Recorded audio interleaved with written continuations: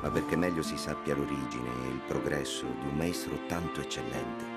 Cominciando dai suoi principi Dico che in Castelfranco, in Sultravisano, nacque l'anno 1477 Giorgio, dalle fattezze e dalla grandezza d'animo, chiamato poi col tempo Giorgione.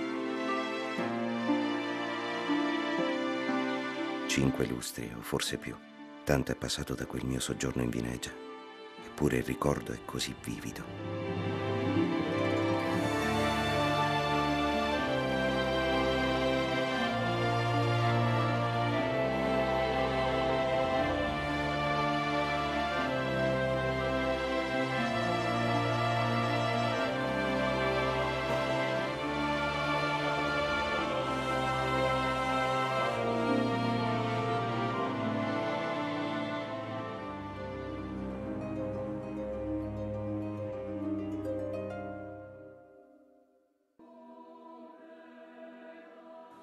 Giorgio non godeva di grande considerazione in quest'ambiente.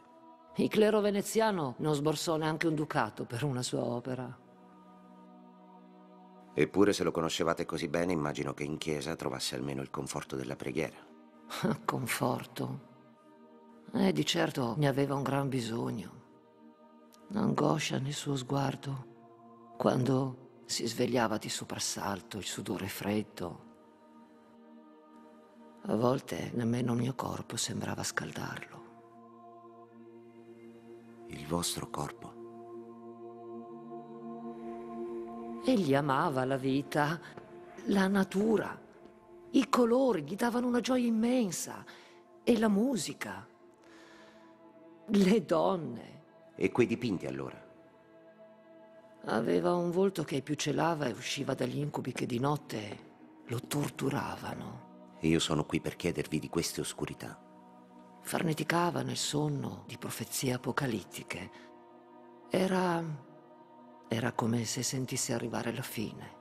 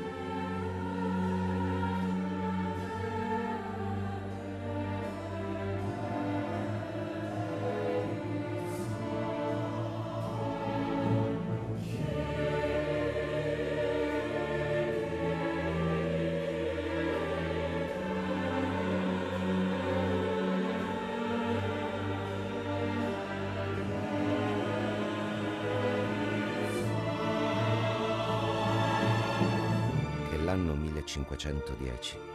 Ella infettò di peste, non ne sapendo però altro, e praticandovi Giorgione al solito, se le appiccò la peste di maniera che in breve tempo, nell'età sua di 34 anni, se ne passò all'altra vita, non senza dolore infinito di molti suoi amici, che lo amavano per le sue virtù.